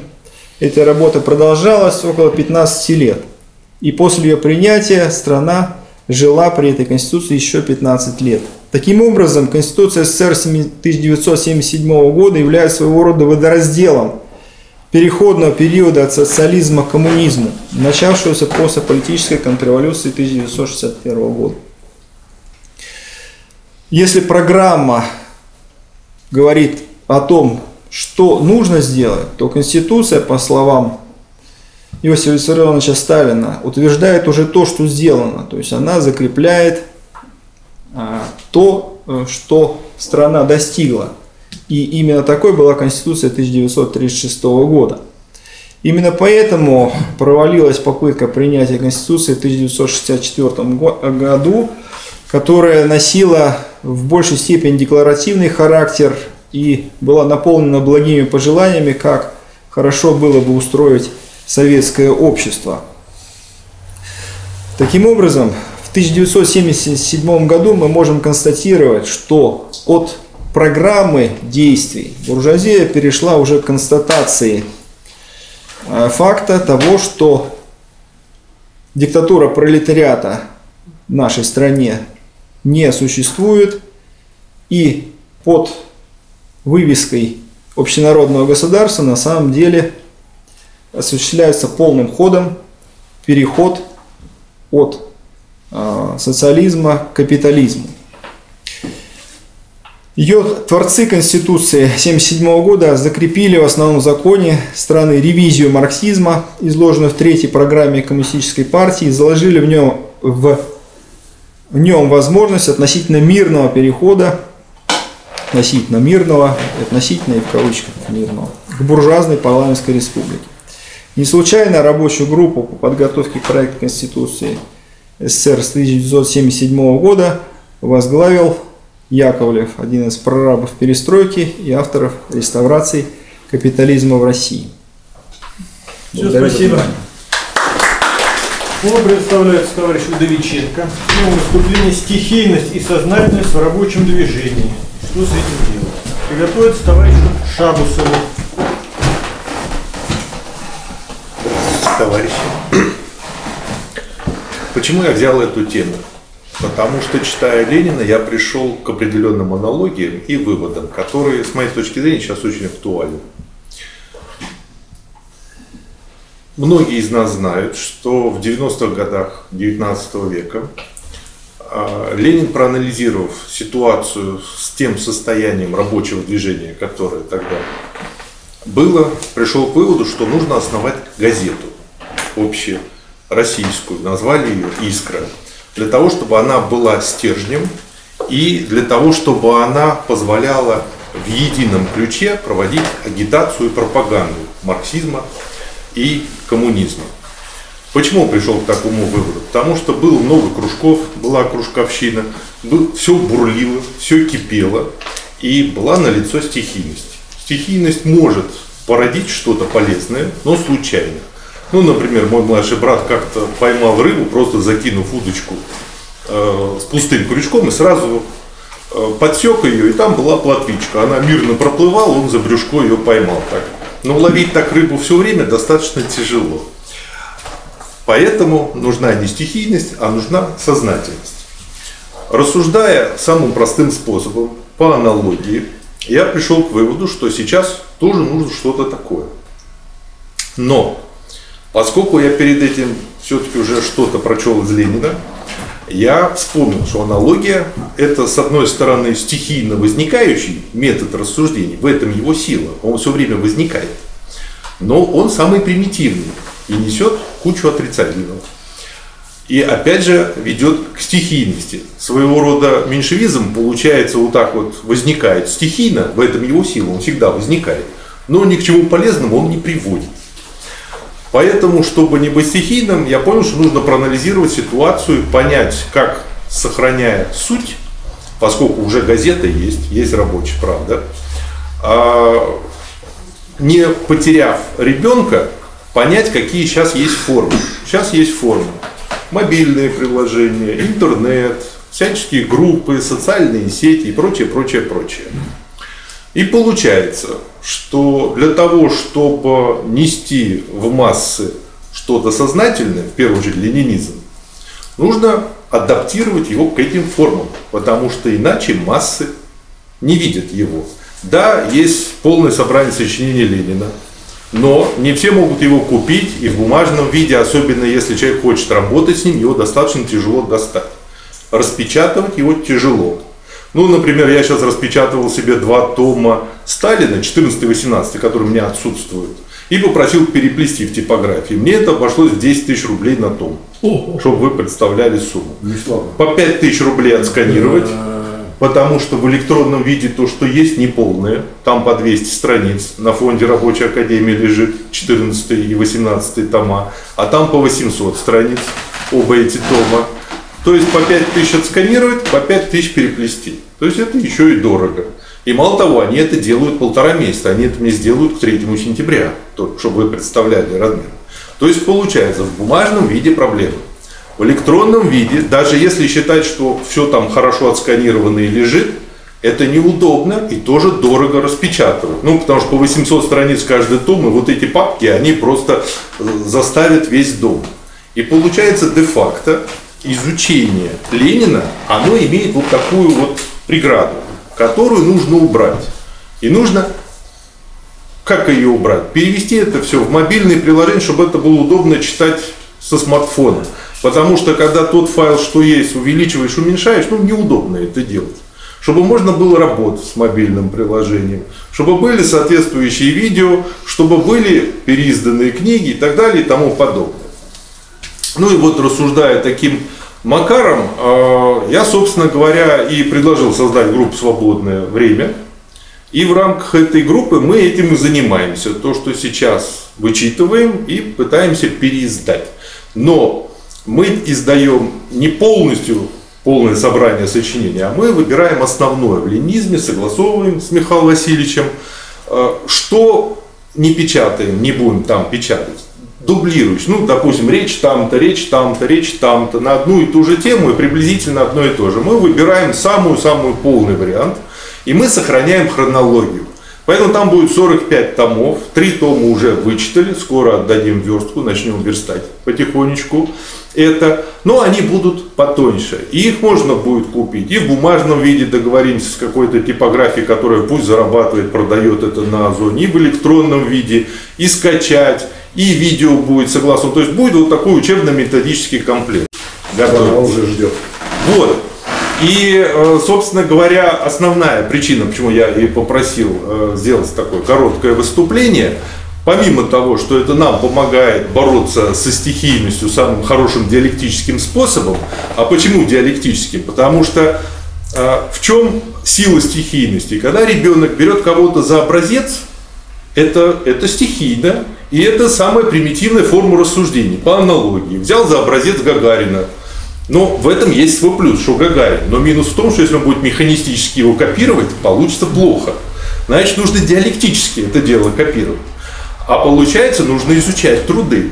И получается, беря за образец Ленина, его проще всего брать и с него начать, и дальше читая его, он от стихийности в мышлении формальной будет переходить к сознательности в мышлении. Получается, делая Ленина общедоступным, мы повышаем сознательность в рабочем классе, ну и не только в рабочем классе. Вот. И э, по этой причине я просто прошу помощи, чтобы включались члены партии рабочие, кто имеет время и возможность вычитывать, корректировать, вычитывать на отчепятки, не Ленина править, а вот то, что там отсканировано, там куча опечаток на самом деле. И когда это переводим в Word, добавляются новые, и нужно все вот эти вот верстальные косяки убирать. Вот кто может, присоединяйтесь, находите меня через мои группы во ВКонтакте Академия смыслов, Свободное время и курс коммунизма «Наука побеждать». Все три во ВКонтакте. Списывайтесь там, и я вас буду подключать к работе. Сейчас там немного, около 10 человек, ну, что я надеюсь побольше. Вот, спасибо. Товарищ Шабусов Константин Константинович, тема выступления о некоторых критериях коммунистических и революционных партий. Подготовится товарищу Юркову. Уважаемые товарищи, на сегодняшний день пролетариями являются все те, кто продает свой труд, неважно какой, умственный, физический и другой. И это те, кто не обладает частной собственностью на средства производства, а могут иметь квартиру, машину, землю, если она не используется для общественного производства, а для лишних огурчиков, помидорчиков, там, лучок и так далее. Поэтому формально у нас сейчас и в мире, и в России, и в Америке это все пролетарии. В большинстве своем без классового сознания, потому что на другой стороне, менее численной стороне, находятся владельцы заводов, фабрик, пароходов, которые обладают правом той самой частной собственности на средства производства, которые живут за счет эксплуатации тех самых пролетариев и которые не могут осознать своих классовых интересов и которые остаются вещи в себе. А могут ли пролетарии сами осознать свои классовые интересы? Это, конечно, сложный вопрос, но для сознания своих классовых интересов рабочему классу необходима своя политическая газета и своя революционная партия, которая будет вносить непосредственно это классовое сознание в рабочее движение. Осознание классовых интересов, что пролетариат должен прийти к власти – это может внести только революционная партия, которая сама в первую очередь пронизана этим движением и стоит на позиции марксизма-ленинизма. В настоящее время в России насчитывается около 200 различных партий и движений. Но какие из этих партий наиболее влиятельны или пользуются авторитетом – на мой взгляд, это РКРП и РПР. А вот какая из них наиболее сильна и влиятельна в идеологическом или революционном направлении, более подготовлена для действительной практической борьбы, пусть решают сами эти партии. Все, спасибо за внимание. Слово предоставляется Юркову Кириллу Валерьевичу, кандидат технических наук. Владимир Ильич Ленин и Иосиф Виссарионович Сталин в борьбе с троцкизмом. Подготовиться Бобинову Григорию Вячеславовичу. Дорогие товарищи, ну вот здесь Александр Сергеевич нам уже рассказал некоторые аспекты а, борьбы за коммунизм внутри КПСС, но в действительности история развития коммунистических партий вообще сама по себе есть история принципиальной и непримиримой борьбы а, с антимарксистскими э, течениями и группами внутри партии. И это положение было верно во все времена, оно было верно во времена Карла Маркса, скажем, мы уже в 1852 году а, в письме Лассаля к Марксу можем найти такие строчки. «Партийная борьба придает партии силу и жизненность. Величайшим доказательством слабости партии является его, ее расплывчатость и притупление резко обозначенных границ. Партия укрепляется тем, что очищает себя». Естественно, это, было, это положение было верно во времена Владимира Ильича Ленина, который постоянно громил оппортунистов внутри партии. Верно оно и сегодня как вот нам показал а, Александр Сергеевич в том числе. А, Иосиф Виссарионович Сталин а, так указывал, что история большевистской партии есть история борьбы противоречий внутри этой партии, история преодоления этих противоречий и постепенного укрепления партии на основе преодоления этих противоречий. Э, имел в виду здесь Иосиф Виссарионович, конечно, партию РСДРП. Сами противоречия внутри коммунистической партии возникают не случайно, и они являются отражением действительных противоречий, которые есть в обществе. Идеологии различных классов вступают в борьбу с марксистско-ленинской идеологией, самого рабочего класса, внутри партии и маскируют себя под марксизм. Не случайно еще в манифесте коммунистической партии мы можем найти различные описания реакционных социализмов, которыми прикрываются классы капиталистического общества в попытках увести трудящихся от научного социализма. В РСДРП внутрипартийная борьба возникает с самого, начала, самого возникновения и зарождения партии. Уже на втором съезде партия раскалывается на большевиков и меньшевиков, и основным разногласием между ними является формулировка пункта первого устава, определяющая, кого можно считать членом партии.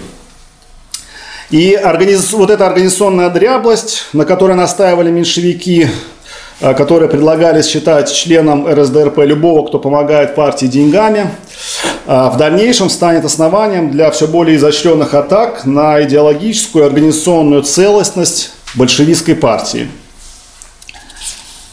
А, Одним из идейных последователей меньшевиков как раз является тот, кто изначально был меньшевиков, меньшевиком, меньшевиком а, является Троцкий. И исторически так сложилось, что троцкизм в различные периоды становится пристанищем и а, объединением различных оппортунистических групп.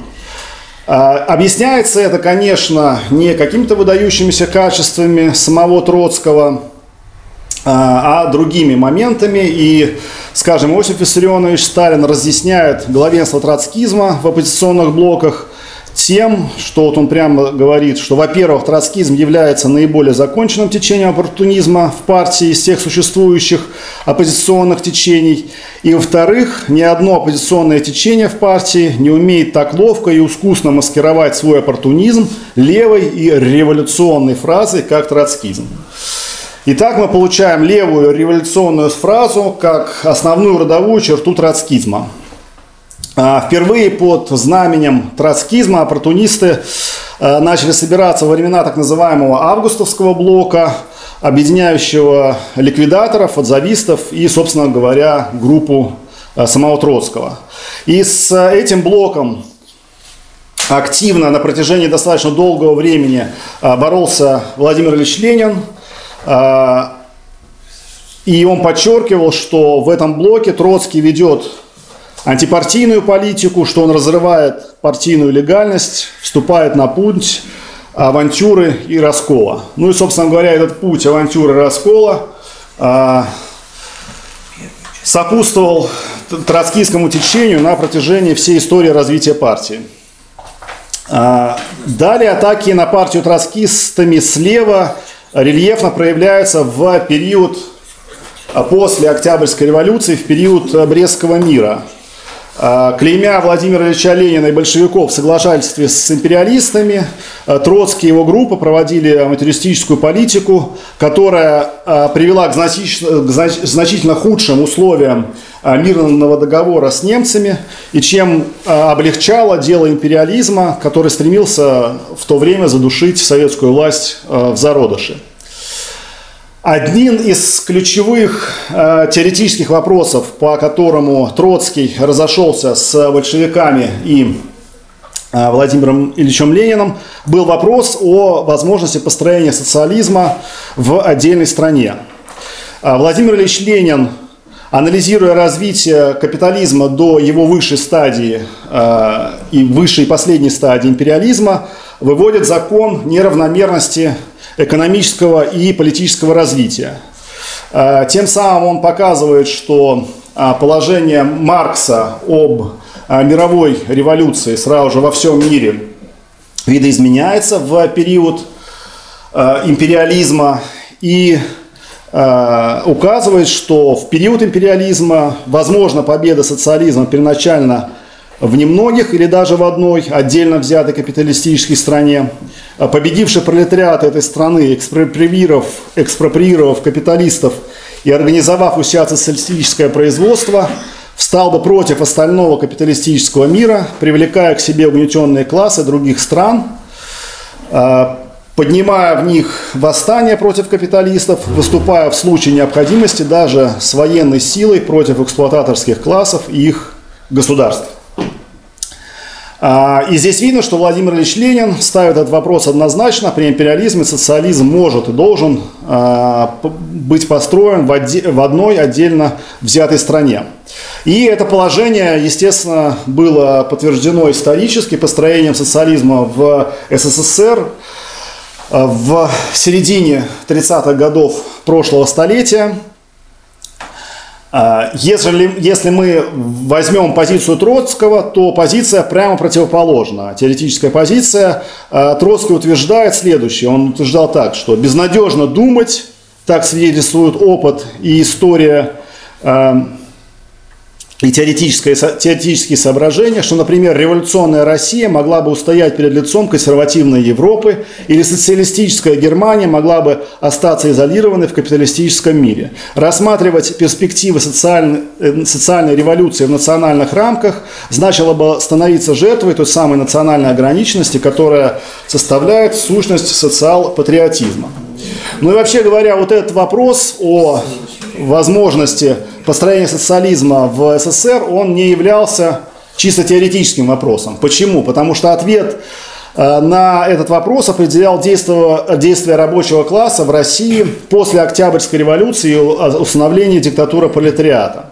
Э, если построение социализма э, возможно в отдельной стране, то все силы пролетариата России должен направить на удержание и завоевание достижений октября, на укрепление советской власти, на развитие э, собственного коммунистического производства в СССР и в конечном итоге построение э, социализма как первой фазы коммунизма. А позиция же Троцкого на деле обезоруживала рабочий класс э, в деле построения социализма и отводила ему действительно роль лишь той самой вязанки хвороста в костре мировой революции. И особенно актуальным этот вопрос э, становится в середине 20-х годов, когда, с одной стороны, была одержана победа в гражданской войне, э, и э, большевиками была одержана победа в гражданской войне, и преодолена хозяйственная разруха, восстановлена промышленность, или, по крайней мере, начала восстанавливаться промышленность, а с другой стороны, внутри советской страны введен НЭП, а в это время в остальном мире э, наблюдается и наблюдалась стабилизация э, капитализма после выступления рабочего класса в разных странах, связанных с, с разрушениями и э, связанными с Первой мировой войной. Вот эта постоянная оглядка на Запад, попытки рассмотреть начало революции в любом маломальском выступлении западных рабочих – а, на деле завели троцкистов и примыкающих к ним э, групп а, в тупик авантюризма по отношению к классовой э, борьбе в России, в Советском Союзе. А, специфика социалистической революции в России заключается в том, что рабочий класс нашей страны, будучи относительно малочисленным, образовывал определенный союз, который Ленин называл классовым союзом, с крестьянством. А, этот союз всячески отрицался последователями идей Троцкого. А, более того, крестьянство рассматривалось именно на определенном этапе а, как объект эксплуатации со стороны пролетариата. На практике это приводило к таким вещам, как предложение методов индустриали... индустриализации, связанными с усилением налогового нажима на крестьянство, повышением отпускных цен на промышленные товары и тому подобные вещи. А, конечно, понятно, что ни к чему, кроме подрыва экономического положения бедноты и середняка, а следовательно и разрушения классового союза, такие методы привести не, не могли. Ну и вот в середине 20-х годов большевики во главе с Иосифом Виссарионовичем Сталином провели огромную работу по разоблачению троцкистов и возглавляемой ими оппозиции э, внутри партии. Результатом этой работы стало признание троцкизма э, Пятым Конгрессом Коминтерна мелкобуржуазным уклоном и в дальнейшем разгром э, новой оппозиции в 24-26 годах прошлого века.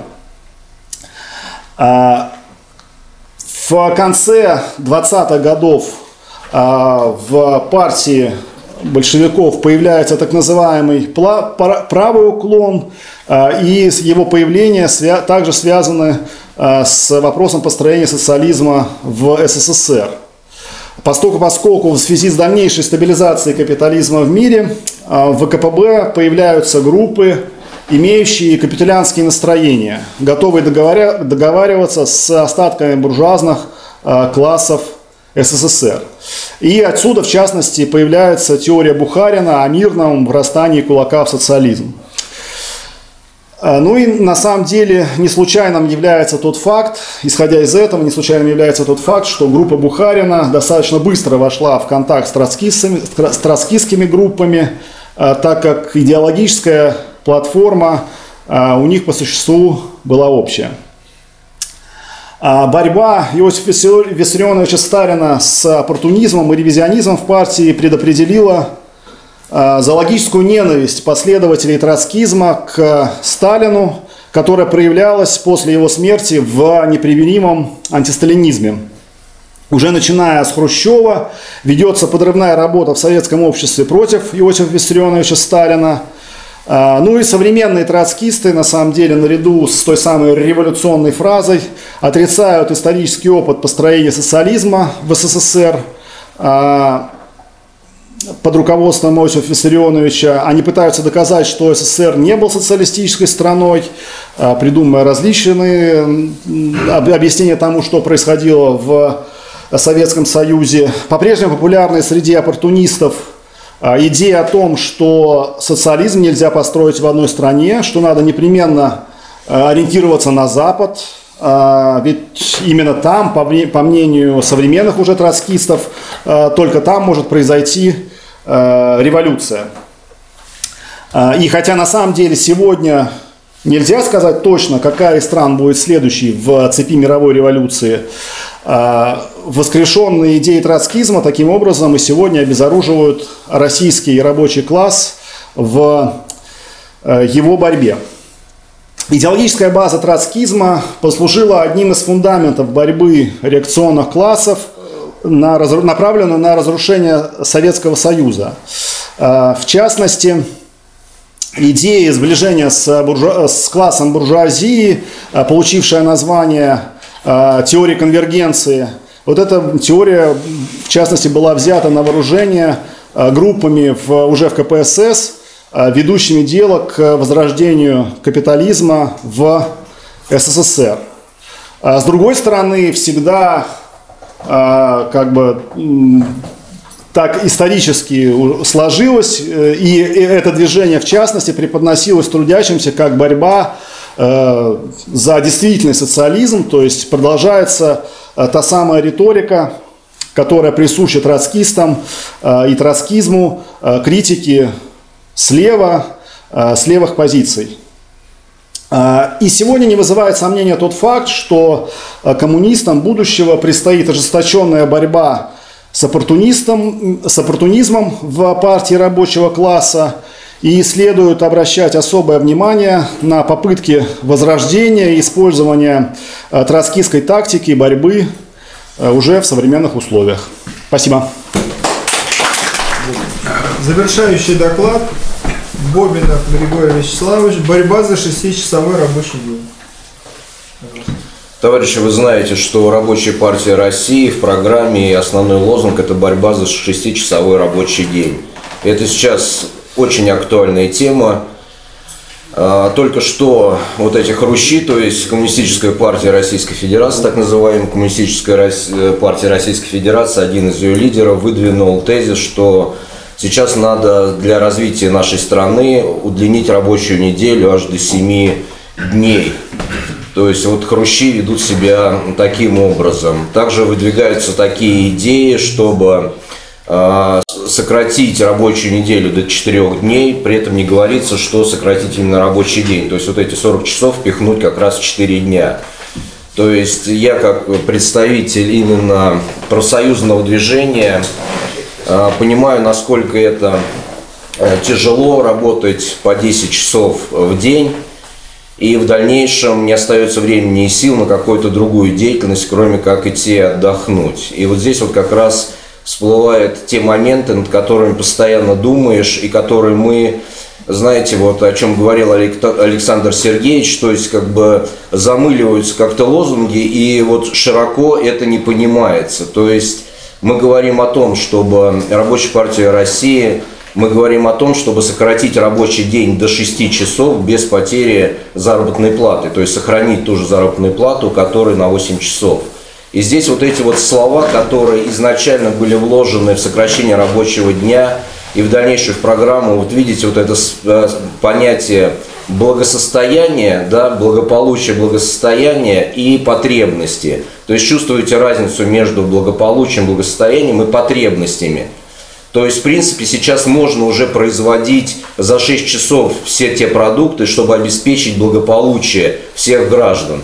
Но при этом потребности мы можем за 6 часов не удовлетворить, потому что у всех разные потребности, понимаете? У кого-то потребности есть мраморное мясо, хотя потребность две с половиной тысячи калорий, которые надо получить, ну и пропорцию белков, жиров и углеводов можно получить за меньшие деньги, тем самым работая, допустим, 6 часов. Но это еще не основное, то, что я хочу сказать вот в своем докладе.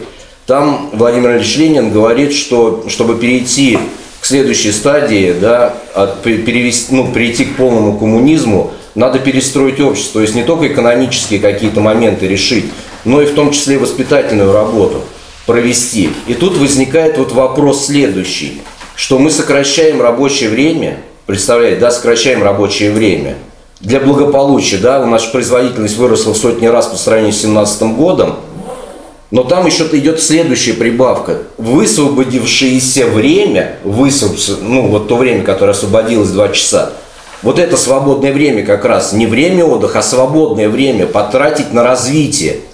То есть Владимир Ильич Ленин подразумевал, что рабочие не убегают куда-то там домой быстрее бросить там все у станка и побежал куда-то. А нет, собраться коллективами, обсудить. То есть научиться управлять своим предприятием за эти два, два, ну, два часа, которые высвободились. Понять, что нового есть, освоить новую профессию – а, разобраться в историческом каком-то ключе. Вот для чего вот это освободившееся время. Но он там говорит в том числе и о военном деле в своей речи. Соответственно, чувствуете, да? То есть Рабочая партия России борется за сокращение шестичасового рабочего, за сокращение рабочего дня до 6 часов, чтобы появилось именно свободное время а не время отдыха. То есть многие тоже не понимают вот этой разницы между свободным временем и временем отдыха, и вот такой коллизией, что оказывается люди, которые не работают, у них нет свободного времени. То есть вот в этих вот понятиях надо вот на это тоже обращать внимание, потому что я как профсоюзный работник, я сталкиваюсь с тем, например, я работаю на скорой помощи. Мы работаем по 12 либо по 24 часа в сутки. Тяжело человека оставить на работе после 24 часов – чтобы с ним провести какую-то профсоюзную беседу, работу, собрание. Это очень тяжело. Второй момент, то же самое касается рабочих коллективов. Сейчас нормально уже работать, оставаться после 8-часового рабочего дня, 10-12 часов отработать. Нету времени на свободное развитие. Нету. И мы столкнулись, опять же, в том же Советском Союзе со следующим понятием. Я же сейчас провожу агитацию э, и Э, агитацию и пропаганду среди различных возрастных групп. Так вот, вот эти вот детские представления, которые просто были впитаны в школе, несутся сквозь всю жизнь. Потому что вот не было этих двух часов, где бы было свободное развитие во все стороны. То есть, например, мне приходится переубеждать 70-летних 70-летних э, э, своих знакомых, что большевики царя не свергали, понимаете? Ну, они вот прочитали это в букваре, что большевики свергли царя. И все, у них это все это осталось и пронеслось на всю жизнь, потому что не было свободного времени, организовано для их всестороннего развития. Поэтому вот эта вот фраза, и опять же, о чем говорит Александр Сергеевич, вот каждую, каждую букву, каждое слово Ленин, вернее, каждое слово, каждую фразу Ленина, проводя через, ну, проходя через практику, ты осмысливаешь совсем по-другому. Как вы говорили, что все было замылено, советы и советы, в том числе и вот это вот свободное развитие и время высвободившееся надо потратить именно на это, а не просто убежать там куда-то домой. Все, спасибо. Для заключительного слова предоставляется слово Казенному Александру Сергеевичу. Дорогие товарищи, несмотря на сложные внешние условия и политические условия, и э, памятные дни, которые мы переживаем, конференция наша успешно завершилась, чем я вас поздравляю. Хочу напомнить, что это седьмая наша конференция, организованная Красным университетом. Хочу вам доложить, что нынче идет набор десятого, десятый набор в Красный университет. Свой, своего рода юбилейный такой набор. И э, этому явлению и событию посвящена первая страница подготовленной «Народной правды», которая на следующей неделе выйдет. Э, исследование причин негативных и позитивных тенденций и их борьбы в социализме мы, конечно, только немножко затронули. Эта тема большая, глубокая, трудная, поэтому я думаю, что мы дали здесь начало, такой толчок этим исследованиям, что они будут продолжаться. И я уверен, что на этом пути нас еще э, ждет много открытий. Что же касается сегодняшних выступлений, то они, как всегда, будут отредактированы и изданы, не откладывая в долгий ящик. Я даже думаю, что еще в этом году, может быть, даже осенью, этот сборник, посвященный этой конференции, выйдет из печати. А, ну и традиционно для нашей конференции обмен газетами и книгами. Вот они Здесь лежат, кто еще не заметил, пожалуйста, возьмите. И традиционный чай, которым угощает Красный университет и фонд Рабочей Академии. Поэтому, пожалуйста, прошу к столу следующей аудитории.